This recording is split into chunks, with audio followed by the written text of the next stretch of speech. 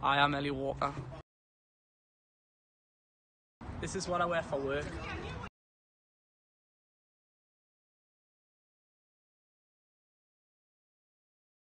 My name's Elliot Walker and I'm a construction plasterer.